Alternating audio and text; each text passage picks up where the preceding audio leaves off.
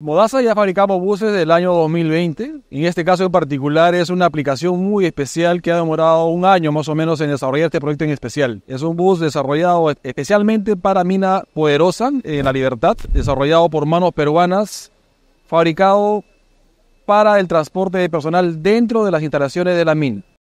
Con esta unidad, la cual la consideramos la más segura del mercado porque tiene importantes elementos de seguridad pasiva y además la estructura con la que está fabricada tiene reglamentación europea tipo R66 que protege a los ocupantes en el caso de una volcadura. Eso no lo, no lo tiene otras carroceras en el Perú somos la primera carrocera en Latinoamérica en obtenerla en el año 2017 y por ende ratificamos que este bus eléctrico, además de ser un bus ecoamigable que va a reducir la huella de carbono, que va a eliminar el consumo de 5.000 galones de combustible de nuestro cliente, no va a utilizar combustible, va a reducir esa cantidad de, de uso de combustible en un año con este vehículo, es el vehículo más seguro eléctrico fabricado en el Perú. Eh, ingeniero José, cuéntenos qué significa para la Poderosa participar en la electromovilidad. Para nosotros va alineado con una política de sostenibilidad ambiental y energética y social que tenemos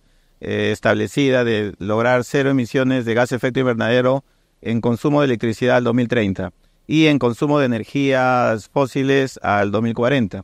Con este primer bus eléctrico nosotros vamos a probarlo en los próximos 30 días en la unidad capacitando a los choferes, a los operadores de la empresa Transportes El Horizonte. Esperamos luego que se vayan acostumbrando y se vayan habituando y de alguna manera gozando los beneficios de la electromovilidad, que son muchos, ¿no? Ahorro de combustible, ahorro de emisiones, cero ruido, mayor confort, mayor comodidad y una serie de beneficios que trae pues la electromovilidad y queremos que, sea el inicio de un cambio de una flota de más de 25 buses que tenemos en la unidad minera. Estamos acá entregando el primer bus eléctrico para la compañía minera poderosa, un bus de 9 metros 60 con 33 pasajeros, eh, cumple con todos los requisitos de seguridad y de protección que requiere la minería, visitando las prácticamente hemos visto todo el recorrido de la, de la unidad, para ver el desarrollo del diseño de la carrocería, tanto en ángulo de ataque como ángulo de salida, y la capacidad es que tiene que tener el vehículo para un buen desempeño y rendimiento de la mina. ¿no? Hemos seleccionado un buen chasis, hemos seleccionado una buena carrocería, resistente, tiene la R66, que es prácticamente una norma antihuelco. Durante todo el proceso de, de fabricación de la carrocería, hemos sido acompañados con gente de la minera para ver cómo va el tema de la fabricación, el avance, inclusive para la prueba de carretera.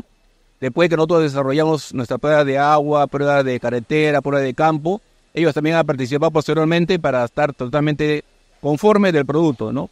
Vamos a seguir con un mes de acompañamiento. El 31 de mayo se inicia la, etapa de marcha blanca.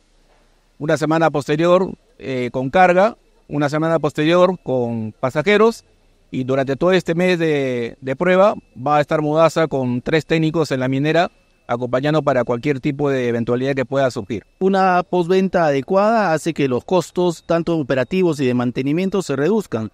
Más aún con un vehículo eléctrico que va a tener un, hasta un 60% de reducción de costos operativos, incluyendo los mantenimientos, en comparación a un diésel de similares características.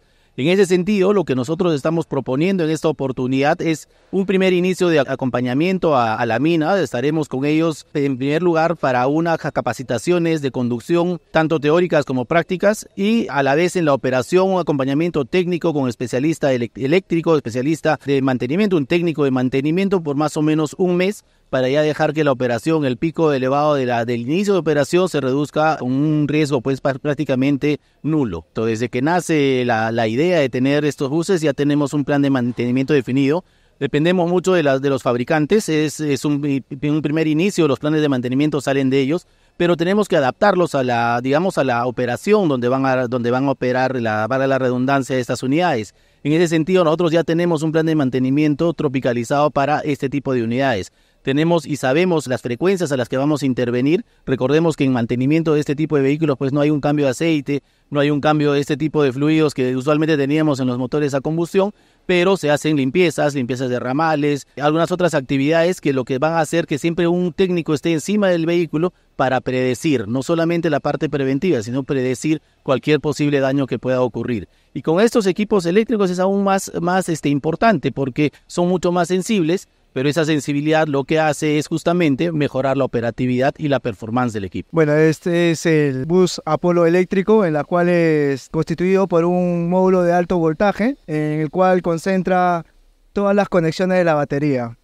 Asimismo, tenemos un distribuidor de energía, el cual alimenta todos los periféricos de la unidad, como aire acondicionado, calefacción, el sistema de dirección, el sistema de aire comprimido.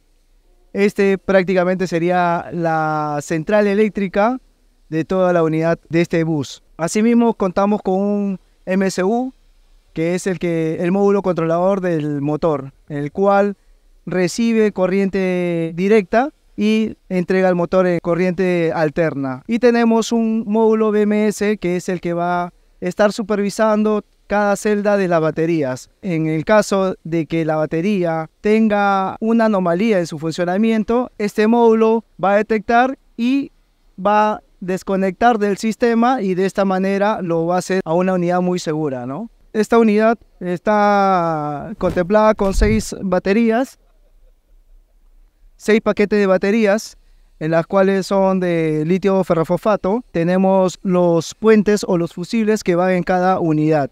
Asimismo, esta es una batería que están refrigeradas con aire natural. Asimismo, esta unidad cuenta con un sistema de seguridad, cambio de carril, el sistema de cinturón de seguridad, el sistema de sensor antifatiga para el conductor, para un tema de distracción que pudiese ver al momento de la conducción, lo alertar. Además, contamos con un sistema DVR que es el monitoreo o la grabación de los sucesos que van a ocurrir en el interior y en el exterior de la unidad. Quiero aprovechar para agradecer a todo el equipo de Moasa, al equipo de ingenieros, técnicos, operarios, que han sido parte de este gran proyecto de la fabricación de este bus eléctrico con mano de obra 100% peruana que no tiene nada que envidiar a un producto de otro país, de otra región. Somos capaces de hacer esto y muchísimo más. Queremos invitar a todos nuestros amigos y clientes que nos contacten a través de nuestra página web, a través de redes sociales, para poderles darle toda la información que ustedes necesitan para el desarrollo de sus proyectos con la mejor tecnología e innovación que puedan conseguir en el mercado peruano. Invitamos a todos los amigos transportistas para que visiten nuestras instalaciones acá en la planta de Lurín y vean todo el portafolio de productos que tenemos de, diésel, GNB y eléctricos para que ustedes puedan elegir la mejor opción de compra para su empresa.